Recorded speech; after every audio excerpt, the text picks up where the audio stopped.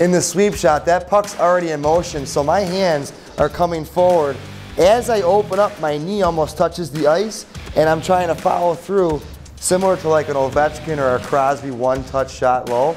Your slap shot, one-timer, you open up your hips here, use your feet, point your front foot, and you absolutely hammer through. Similar body language, but now it's into a slap shot, one-timer. Both are effective one-touch shots that are skills.